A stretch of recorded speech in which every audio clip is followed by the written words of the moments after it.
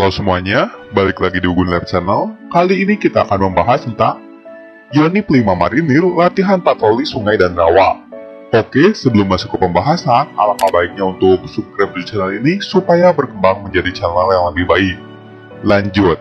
Dalam rangka latihan Satuan Lanjut 1 tahun 2020 aspek darat atau laut, prajurit petarung Batalion Infanteri 5 Marinir melaksanakan latihan patroli sungai dan rawa pada Rabu 16 September 2020 di daerah latihan Kop Marinir Pantai Baruna, Kondang Iwak, Magelang, Jawa Timur.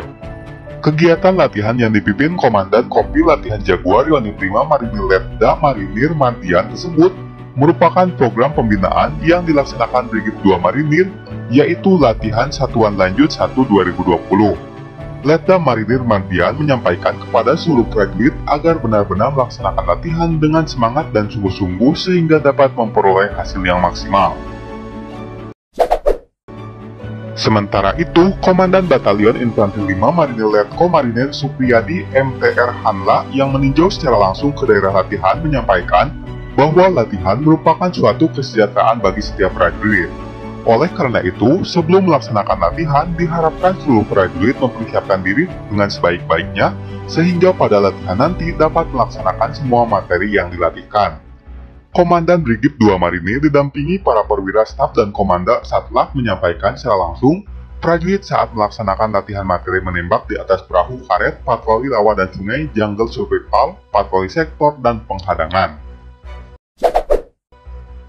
Komandan Brigif 2 Marinir Kolonel Marinir Rudi Hatoman Paung menyampaikan bahwa tujuan dilaksanakannya latihan tersebut yaitu satu, Untuk meningkatkan keterampilan perorangan dan kemampuan persenjataan prajurit 2. Meningkatkan kemampuan dan kerjasama taktis satuan tingkat peleton 3. Meningkatkan kemampuan dan kerjasama taktis satuan kompi 4. Menguji kemampuan dan kerjasama taktis satuan tingkat kompi 5.